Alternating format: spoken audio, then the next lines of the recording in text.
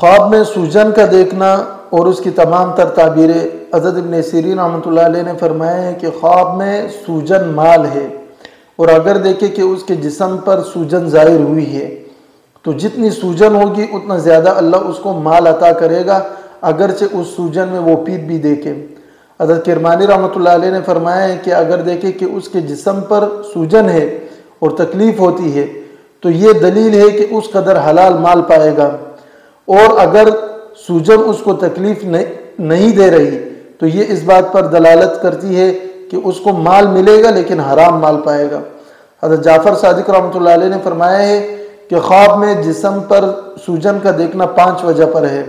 अव्वल माल का ज़्यादा होना, दो औरत से फ़ायदा हासिल होगा, तीसरा लड़का होगा, चारों मुराद पूरी होगी, पंजुम गमों से अमन में होगा, और अगर तमाम बदन सूझा हुआ देखे तो दलील है कि उसको ये पाँचों चीज़ें हासिल होंगी।